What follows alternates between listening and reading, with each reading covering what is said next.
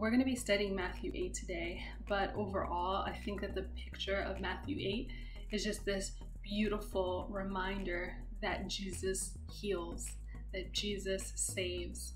And that is the central message of Matthew 8. He heals us spiritually, He heals us physically.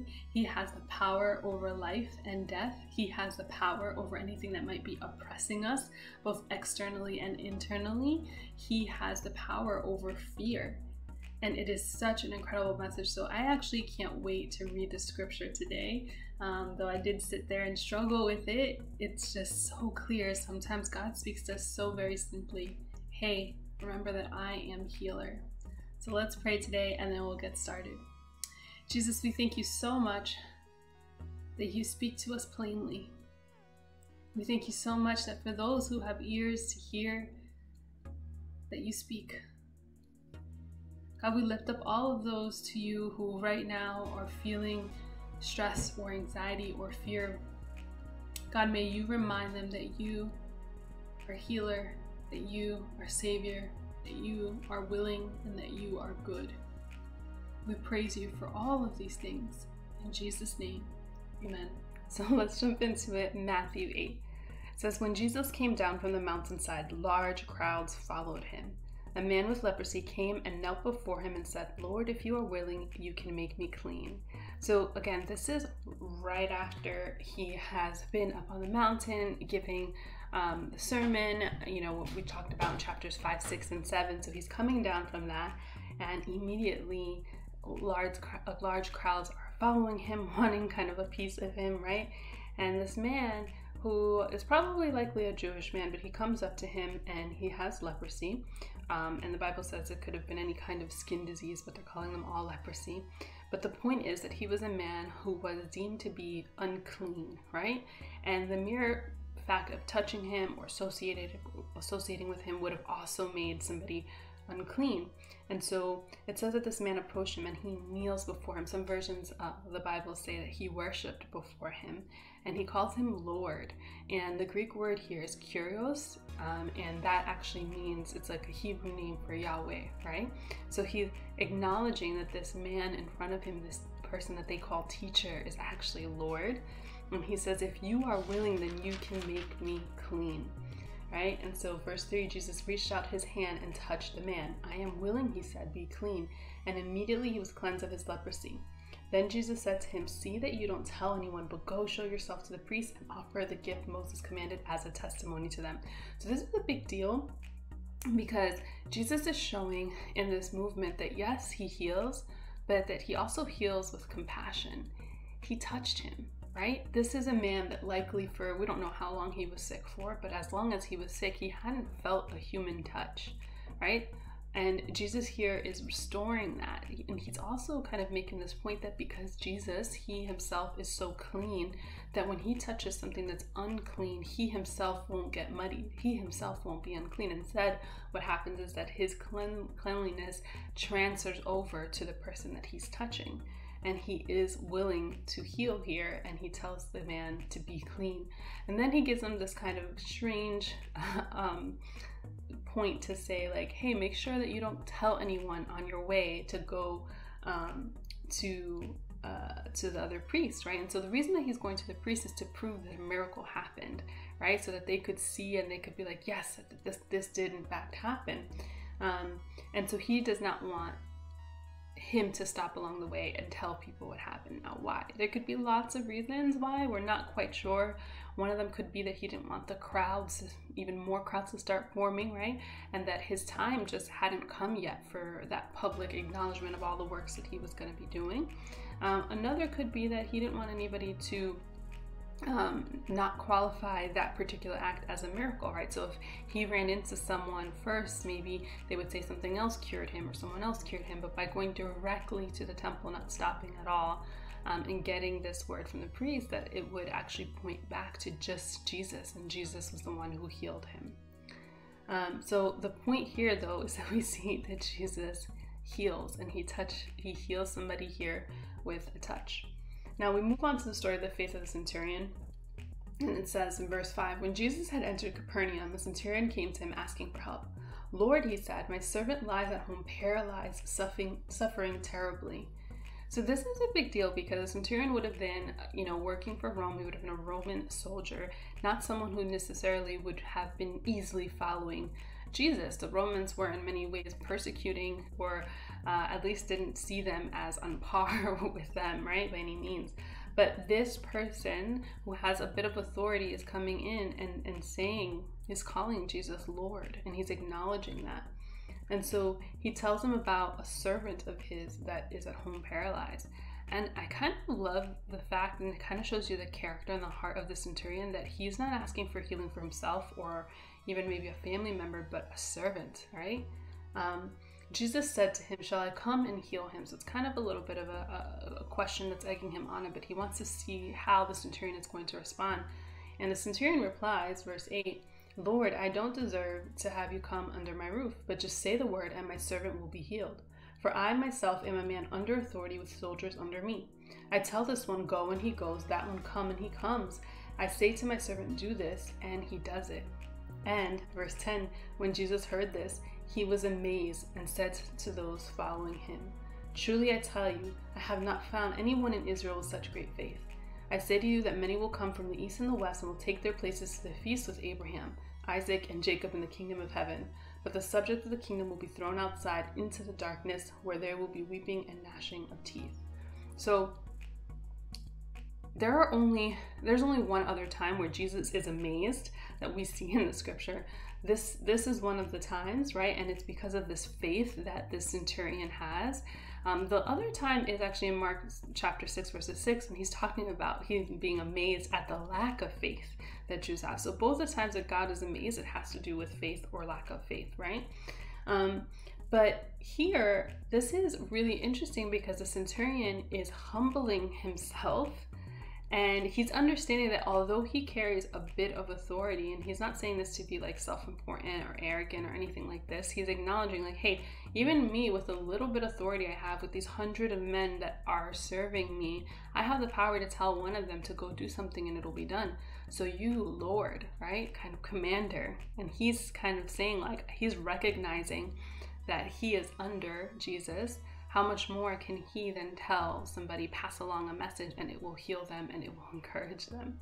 And so, this is what amazes Jesus. And Jesus makes it a point to do a couple things. One, in verse 13, he says, Then Jesus said to the centurion, Go, let it be done as you would believed it would. And his servant was healed at that moment. So, he acknowledges the centurion's faith and then he imparts the healing, and he doesn't even have to be in the place with the person.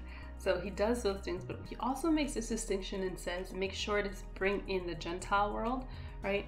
Um, and he he says to them, I say to you, many will come from the east and the west, will take their place with the feast with Abraham, Isaac, and Jacob in the kingdom of heaven. So there's going to be people that essentially the Jews wouldn't have been expected to be invited into the kingdom of heaven that are going to be there. And then there are going to be people who feel like they deserve, that they're entitled to be there because there's a, there's a direct connection to the lineage of Abraham, Isaac, and Jacob who will not, in fact, be there.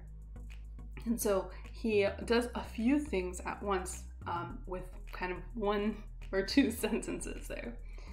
So let's look at verse 14. Jesus heals many. When Jesus came into Peter's house, he saw Peter's mother in law lying in bed with a fever. So here's just one interesting thing. We realize that Peter is married here, right? If he's at his mother in law's house, Peter's married. Um, and so Jesus goes in verse 15, he touches her hand, and the fever left her, and she got up and began to wait on him. So here we see uh, Jesus having compassion again. He's, he's visiting his disciples, his friend's house, and sees that his mom is sick. And rather than just kind of ignore her, he chooses to put a hand on her and to heal her, and she is well immediately. He heals immediately, right? And she gets up and she goes to serve him immediately, right? So she's healed and she goes to serve.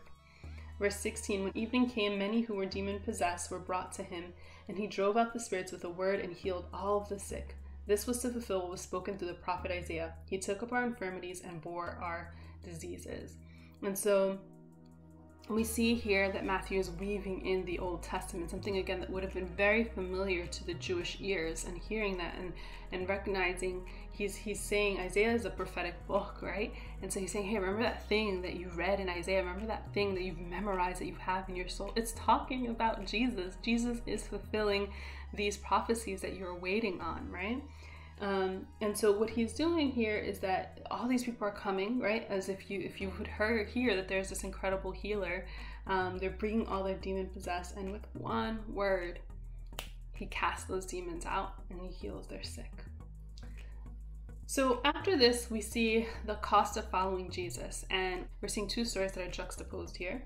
Um, so in verse 18 it says, When Jesus saw the crowd around him, he gave orders to cross to the other side of the lake. So he sees this whole crowd again, and he's taking a distance, right? He's taking a step. Um, and then a teacher of the law came to him and said, Teacher, I will follow you wherever you go. So a teacher of the law, right? Another for another rabbi, someone who knows the, the, the law, is coming to him and says and says, Hey, I want to follow you wherever you go. And so he is uh, excited, he is encouraged, he is ready, right? But Jesus must sense something about this guy's heart, or maybe his motives, and we're not sure. But his answer, his response to him in verse 20 is Jesus' reply Foxes have dens and birds have nests, but the Son of Man has no place to lay his head. And so he's saying, like, hey, I know you're saying that you want to follow me, but have you really thought about what it's going to cost you? We're not going to be going and staying in beautiful palaces and beautiful places and rest. Like the Son of Man actually has no such place, right? So if you're saying you're going to follow me, what you're following is a life that's going to be wandering, right? And so he says that, and it's almost, I wonder if it's a test to see, like, what is it that you really want here? Why do you really want to follow me here? The next verse, um, another disciple says to him, Lord, first let me go and bury my father, right? So the disciple is saying, he's realizing that it's time, Jesus is time, it's time to go, it's time to move on. But this disciple who's been with him, sitting with him, listening to him, all of a sudden remembers that he has this gigantic task to do of burying his father.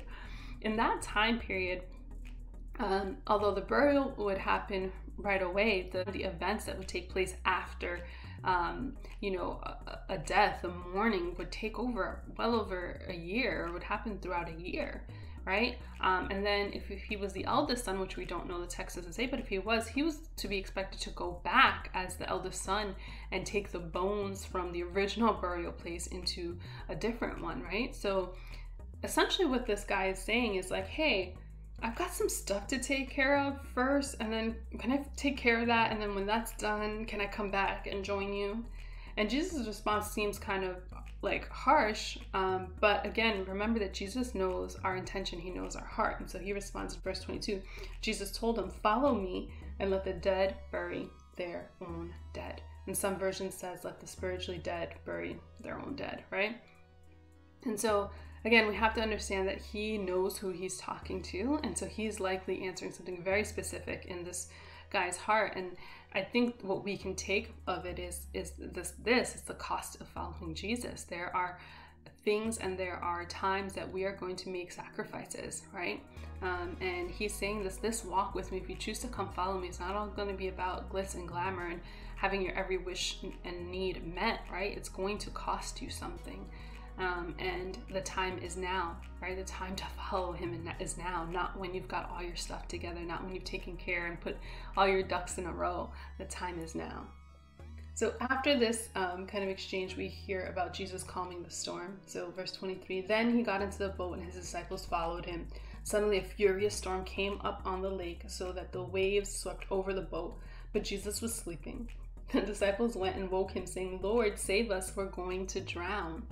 And so this is a likely kind of scenario, right? Like if you were on a boat, I don't know if you've ever been on a boat before, but I've been on like a cruise and there's a really bad storm and I'm like kind of looking around, like making sure is everybody else worried? And if everybody else is not worried, I tend to relax and calm down. But if I see other people in a panic, uh, my panic starts to pick up as well. So I'm sure that that's kind of the feeling that the disciples were sitting in, right? They're watching each other, they're realizing everybody is getting panicked and worried here. And so they actually do the right thing, even though Jesus kind of is responding to them in what seems to us uh, kind of like a chastisement, right? But they go and they run to the Lord. However, the heart, they don't go and run to him specifically because they believe at this point that he has the power to do anything, but he, they go to him because they don't know where else to go, right? So Jesus replies, uh, verse 26 You have little faith, why are you so afraid? Then he got up and rebuked the winds and the waves, and it was completely calm. The men were amazed and asked, What kind of man is this? Even the winds and the waves obey him. So here we're seeing their maybe their first realization that Jesus is God, that he is creator of the winds and the earth, and so therefore he has authority over over the wind and um, and the earth, right? The wind and the waves. He has authority over the wind and the waves. So after this, we see that Jesus restores two demon-possessed men, and I know that this account, this this uh, particular story, is in a couple of the other gospels as well, and there are little differences, but the the whole of it kind of stays intact and in place. But verse 28, when he arrived at the other side of the region of the Gadarenes, two demon-possessed men coming from the tombs met him. So can you imagine this? Can you finally get where you're going and you're hoping for some rest maybe and relaxation and instead you get two demon possessed men, right? And they were so violent that no one could pass that way. Verse 29 What do you want with us, Son of God? They shouted. Have you come here to torture us before the appointed time? So this is interesting. One, these demons recognize that this is Jesus. This is God. This is who's going to have final authority and judgment over them, right? So they're recognizing it, even though the disciples have yet not fully recognized the magnitude of who they have in front of them. And Jesus shows authority here again. He's not afraid, right? All of these other people are afraid of coming into their space because of how violent they are, but Jesus isn't.